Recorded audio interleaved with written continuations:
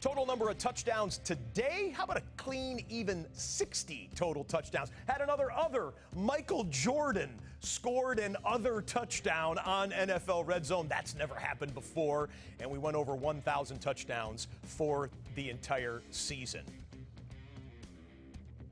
And there it is, as a matter of fact. Over 1,000 total touchdowns on NFL Red Zone. If you stayed with us for 18 weeks, boy, it was a fun season. 18 weeks over a thousand touchdowns, and now it's on to the playoffs.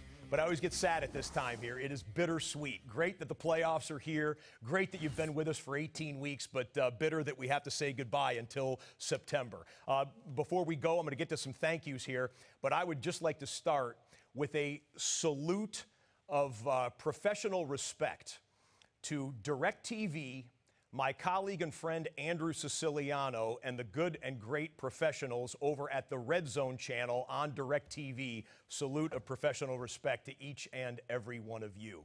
We always leave you now with me saying for all of the hardworking men and women here in the studio, my right hand men, Brian Larivee, I'm going to get emotional. I love these guys over here. Tim Galanians,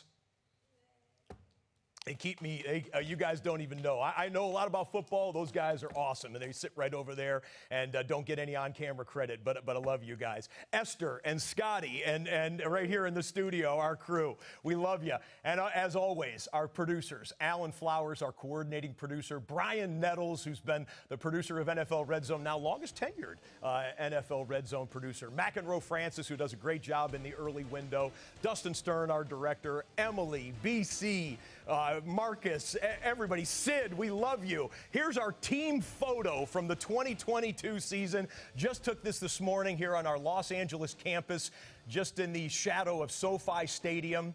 And now we say good night and goodbye. We will see you again in September. We leave you, as we always do, with one more look at every touchdown from every game presented by Amazon, as well as a look at the great men and women who make NFL Red Zone possible. Good night. God bless. We'll see you in September.